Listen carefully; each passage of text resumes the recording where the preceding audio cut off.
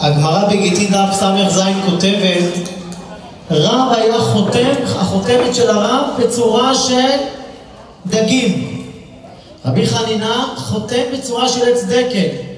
תגידו לי, ציבור יקר, תנאים, אמוראים, מה זה לחתום בצורה של דג?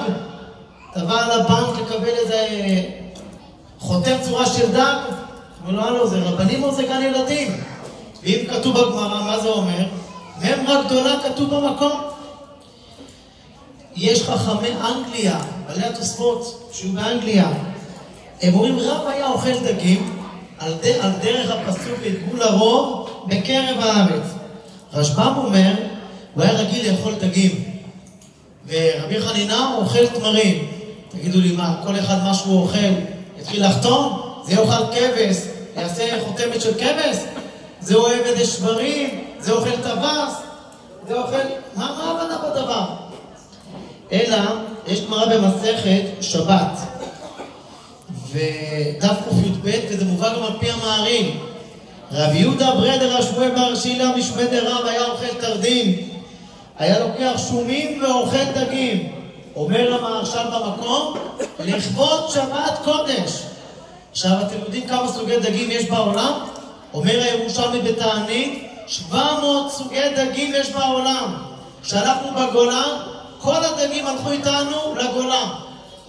חזרנו לארץ ישראל, כולם חזרו חוץ מדג אחד, שעמוד השדרה שלו, שיבוטה, אתם יודעים, בעולם הדגים הולכים נגד הזרם, ממדינה למדינה, מקצה העולם לקצהו. אז למה הדג הזה לא יכול לעבור לארץ ישראל? עמוד השדרה שלו חלש.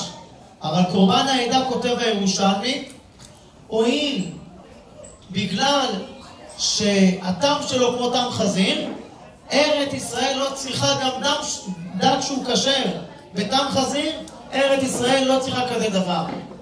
ולכן פעם בבא סאלי אמר, מה שכתוב בתורה, 12 עינות מים ו-72 סוגי תמרים, הוא אומר, אז הוא הסביר שזה הולך על הוא אומר, אז גם בתמרים זה לא עוד איזה תמר, אלא 70 סוגי תמרים, חפש את התמר הכי משובח לכבוד שבת קודש. גם בדגים, איזה דג תיקח? מה-700 פחות אחד בארץ ישראל, חפש את הדג הכי משובח, לכן הם היו מיוחדים בלענג את השבת, את השבת.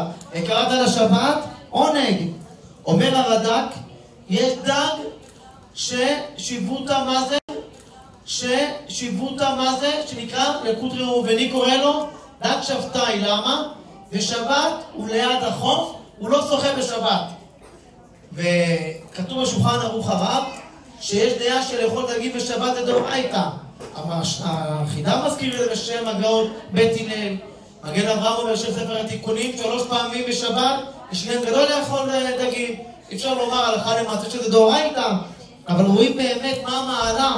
צדיקים במה מתגלגלים? בדגים, איך זה קשור גם לפרשה? יעקב אומר, והנה אני הולך להיות מעשיו אל עמי. ובספר במדבר נאמר, והשם אוסף את כל הדגים, יאסף ויאסף. ולמה יעקב בירך את, ה... את כולם ידגו לרוב בקרב הארץ כמו דגים? למה? שהיו כמו שברים, חיה טהורה, יהיו חזקים. מה זה כמו דג, רבותיי? אתם יודעים, כל בעל חי, אם פעם הרמתם איזה בעל חי, יש לו חמימות. דגים, אם הרמתם דגים ביד, הם קרים. כמעט במעט שבמעט חום שלא מרגישים אותו ביד. וזה מה שיעקב אבינו אמר. תהיו כמו הדגים, שלא יהיה לכם בכלל יצר הרע, ולא רק מפני הסיבות הידועות, תגידו עין הרע וכדומה. אגב, ראיתי בספר פליאה, במדרש תלפיות הוא אומר, שבט אפרים יש לו כל שבטים גלים. איך הדגל של שבט אפרים, רבותיי? בצורה של דג. אז אם כן יוצא לנו שיש כאן הבנות, ומה מיוחד בדגים רבותיי? לדג אין אף אפיים, נכון? ככה הקדוש ברוך הוא תמיד משגיח עלינו תמיד. פעם הילד שלי הקטן קם בלילה, אומר לי אבא אני רואה שהדגים בכפרים לא יושנים, מאוחר, אתה אומר לי אבא לישון, אמרתי לו הם ישנים, הוא אומר לי לא העיניים שלהם פתוחות, אמרתי לו אין להם אף אפיים לכם, תמיד הם נראים ערים אבל הם גם ישנים. וזה באמת עניין גדול. שעם ישראל היה כתוב בגמרא בברכות שהיינו במדבר, הנשים היו הולכות לנהר, מביאים דליים של מים ובפנים עולה להם דגים. אומרת הגמרא, הם מפרים ומרבים. נותנים רצון שיהיה פורו בעולם, וגם מפרים ומחזקים הגוף. הגמרא עוד אומרת במקום אחר, הרגיל בדגים, אינו בא לחוני עקבה. ולכן אישה, מתי מתחתנים? יום רביעי, יש טענה, דין ודברים יום חמישי, ייגשו לבית הדין. ומה התחדש ביום חמישי? הברכה של פור לכן יש מקיימים סעודה אחרונה של חתן וכלה, גם דווקא בדגים. עוד דבר רבותיי, תראו דבר נפלא לגבי הדגים, אינו בא לחוני עקבה. ולכן אישה, מתי מתחתנים? יום רביעי, יש טענה, דין ודברים יום חמישי, ייגשו לבית הדין. ומה התחדש ביום חמישי? הברכה של פור לכן יש מקיימים סעודה אחרונה של חתן וכלה, גם דווקא בדגים. עוד דבר רבותיי, תראו דבר נפלא לגבי הדגים, יש מדרש, וזה מובא ברעבה בתורת כהנים, יש דג שמנגן, שיודע לנגן. אומר הרב החידה, יש לנו מזמור בתהילים יורדי הים באוניות, עוד שם נון הפוכה, כולכם יודעים למה הפוכה? צריך להזהיר את בעלי האוניות, שיש שם דג, חציו גוף, חציו בן אדם. יש אומרים למעלה זה בן אדם, למטה זה דג, יש אומרים הפוך, לא משנה. אז הוא אומר, הדג הזה יודע לשיר שירים, ואנשים נסחפים אחרי השירה של הדג הזה, הוא בא ואוכל אותם, יכול להרוג את הבני אדם. לכן הוא אומר, דוד המלך, יורדי הים באוניות, מה זה נון בארמית? זה נקרא דג. אז תראו איזה דברים מעניינים יש בדברים של הדגים עצמם. ועוד דבר, יש סוג של דג שהוא מופיע רק בקיץ. סיפר לי הרב שמעון ביטון, רבה של בית שמש, שיהיה בריא. אמר לי שפעם בבא סאלי בא אליו בחורף, אומר לו, לך לשוק, תביא לי דג מסוים. אומר לו, סידנה, היום אין דגים, זה רק חודש בקיץ, עכשיו זה חורף. אומר לו, אף על פי כן. שם הוא אומר, יש שם שוק שלם של דייגים, הולך מאחד לשני לאט, סוף מישהו בא, אומר לו, אומר לו, תגיד לי, הסתובב לך סביבון? השתנה לך השעה? אתה לא יודע שעכשיו הדג הזה מופיע רק בקיץ? חודש אחד בקיץ, לא כל השנה. אמר לו, בכל זאת אני מחפש, יש לך למחור, קבל כסף, אין לך להתראות. פתאום בא אחד אומר, עכשיו עלה לי דג. שמע, עכשיו זה לא העונה, תשלם כמו שצריך. ובא לבבא סאלי עם הדג הזה. לכן יש עניינים, צדיקים מתגלגלים בדגים, לא סתם. וזה מה שכתוב, יש לנו עוד ממר של חז"ל, שיורד יד גשם, כל הדגים קופצים, כביכול מעולם הם לא יודעים מה זה מים, למה? צמאון לקדוש ברוך הוא.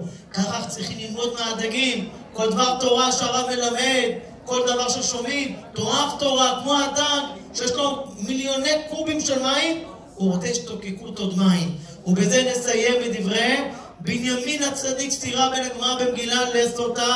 נביא רק את הרעיון. כתוב שבזה חלקו של בנימין נמצא בית המקדש. למה? חופף עליו כל היום. פעם אחת נאמר, ההיכל נמצא שם, קודש של קודשים בחלקו. פעם אחת נאמר, ספר תורה רק בחלקו. חבר'ה, אנחנו לא יודעים שזה לא העונה, תשלם כמו שצריך. ובא לבבא סאלי עם הדג הזה. לכן יש עניינים, צדיקים מתגלגלים בדגים, לא סתם. וזה מה שכתוב, יש לנו עוד ממר של חז"ל, שיורד יד גשם, כל הדגים קופצים, כביכול מעולם הם לא יודעים מה זה מים, למה? צמאון לקדוש ברוך הוא. ככה צריכים ללמוד מהדגים. כל דבר תורה שהרב מלמד, כל דבר ששומעים, תורה תורה, כמו הדג, שיש לו מיליוני קובים של מים, הוא רוצה שתוקקות עוד מים. ובזה נסיים בדברי בנימין הצדיק סתירה בין הגמרא במגילה לסוטה. נביא רק את הרעיון. כתוב שבזה חלקו של בנימין נמצא בית המקדש. למה? חופף עליו כל היום. פעם אחת נאמר, ההיכל נמצא שם, קודש של קודשים בחלקו. פעם אחת נאמר, ספר תורה רק בחלקו. חבר'ה, אנחנו לא יודעים שיש כאן סתירה? ספר תורה בחלקו, או כל קודש של קודשים בחלקו, וגם הספר תורה בתוכו. אלא ראיתי צירוץ יפה שלו באר התורה, הוא אומר, גם אם יש לך אדמת נדל"ן, אדמה, אדמה הכי רוחנית, שמה יש במקום? בית המקדש, זה לא סיבה מספקת שיהיה לך בפנים ספר תורה. שספר תורה יהיה בחלקך מעבר לקודש של קודשים, וחופף עליו כל היום. מה זה חופף עליו כל היום? צריך השתוקקות, שבנימין תמיד משתוקק לקדוש ברוך הוא לעשות את רצונו. לכן בזה אנחנו חותמים דור הגאולה כולנו. לפני ביאת משיח כל הסימנים בגמרא וסוטה בסופה, יתקיים בדורנו.